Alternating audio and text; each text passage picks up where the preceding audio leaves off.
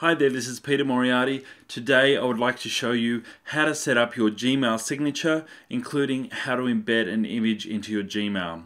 So from your main inbox, to get to your signature settings, you just click on the settings wheel in the top right hand corner, and then settings.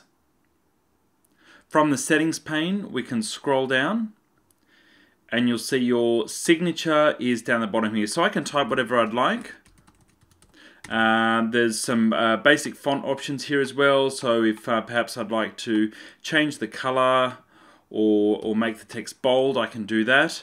And um, if I'd like to embed an image, uh, perhaps you've got a, a, business logo or such that you'd like to embed, I can click the Insert Image button here.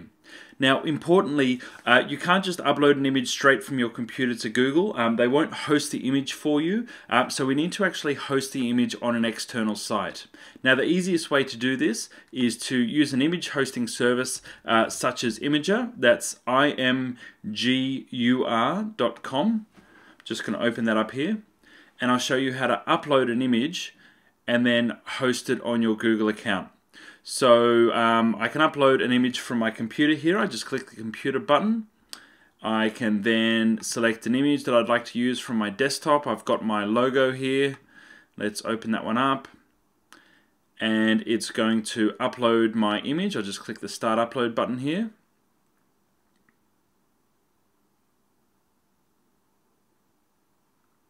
Excellent. So now all I need to do is actually click on the individual image and that will give me a private link for that image. I can copy that link here from my browser. So make sure it's got a uh, .jpeg on the end there. That's going to be the actual image link file.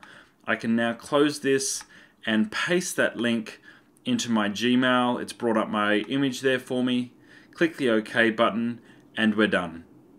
Once you've saved and finished your changes, you can click Save Changes down the bottom. Now when you're ready to write a new email, when I click the Compose button, you'll see here that my logo image has come up under my email and all of the other customizations that I've inserted there.